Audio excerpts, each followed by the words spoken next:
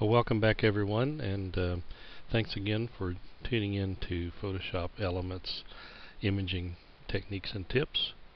And today, uh, as uh, we mentioned in the last tutorial, we're going to start a series on tool usage. And this first one is going to be, uh, as the title you, you see above uh, suggests, is non-working tools.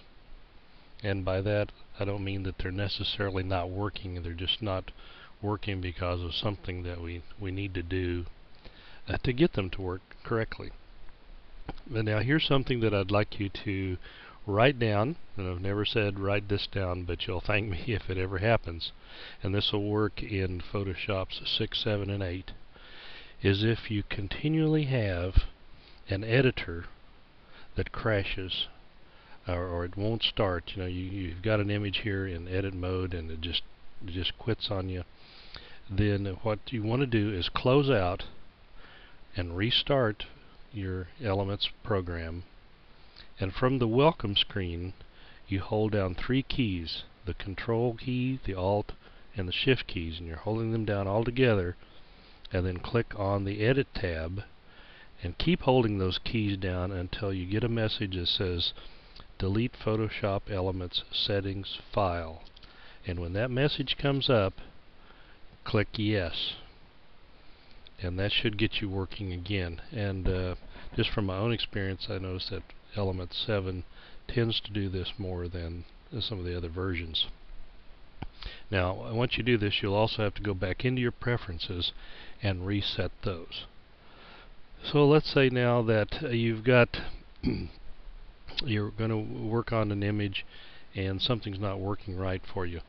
So uh, let's do a couple of things. Uh, the first thing would be is to make sure that if you're working in a layered file that you're on the correct layer. Uh, this particular one that I've, i just happen to have up here as just a background layer. If you, also if you're trying to do something um, and it's not working you might need to unlock the layer and you have a lock here. Double click it and take that away and then you might be able to continue on. The next thing would be is your caps lock. And I'm going to go over here and I'm going to grab a brush tool and you see from the cursor it's just a little spot. And I can't tell actually what size the brush tool is although it says it up here in your options bar that it's a 60 pixel brush and it's also a hard brush. So what you want to do is just simply take your caps lock off. And sometimes you forget that you're setting some type in capital letters and you go to, to apply a brush or an eraser tool, clone stamp tool, healing brush, and all you get is just a little dot and you can't tell what you're doing. So just check and make sure, simple thing like your caps lock. Next would be the options bar. For example, let's take the clone stamp tool here. And um, let's say that I want to uh, these this light area here of trees that I want to darken them. And I want to use I'm going to sample from over here and to darken them. Well if I have my mode set to lighten I, I click on a dark space and bring it over here nothing's happening. All I need to do then is to go back to darken, take my sample, and then start painting over there.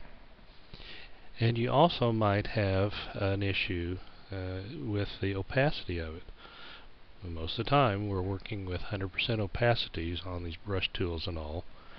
Uh, but if um, it's not at 100%, you're going to see this fade out right here and that would be a quick visual cue and then you can go over here and say ah my opacity is not at 100% so that's another reason that you might uh, not uh, be using the tool uh, and it's not working like you want it to.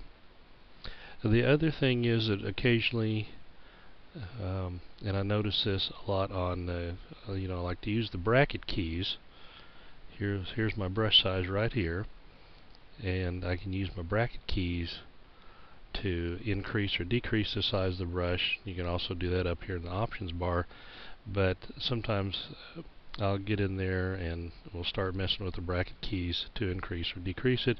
And it's not working, and the real simple fix to that is just press your escape key.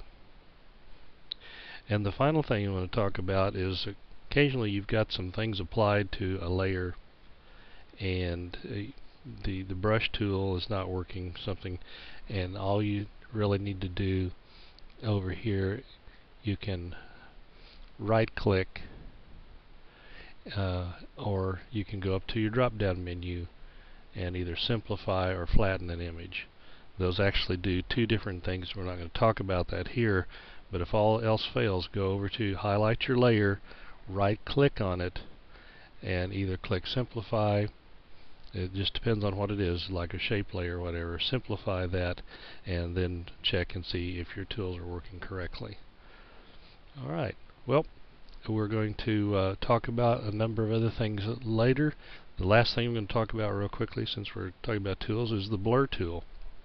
And one of the things that we do as photographers, we want to control depth of field. Sometimes we want a great depth of field, sometimes we want a shallow depth of field.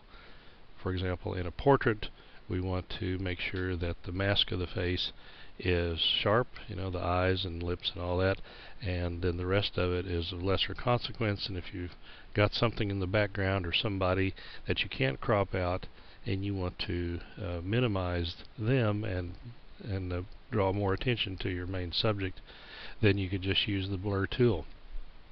So we're going to get it from over here, and once again you have different modes in blur tools. You have lighten and darken, and um, get that, and normal, and some others.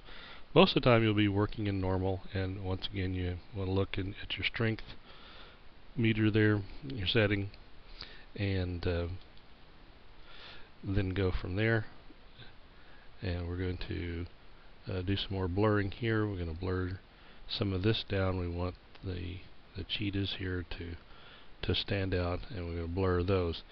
Now if you've got a really large area you can go ahead and make a, a bigger brush and go ahead and continue to, to blur that out and be conscious of uh, uh, the, parts that you want to be sharp or you can go in and use one of your uh, selection tools like the lasso tool you could you could select a very large area like this. You're going to do this a lot more carefully. And then a lot of times so that the demarcation line between the areas that you want sharp and the ones blurring, you, you do want to minimize that so you go up to select and feather and you're going to feather that edge so that it, it blends in more nicely. And then you can go up to filter blur and do a Gaussian blur and set that to uh, different values. You're going to look at your have your preview checked so that you can see what you're doing there. Now that's just a and then control D to take away the marching ants.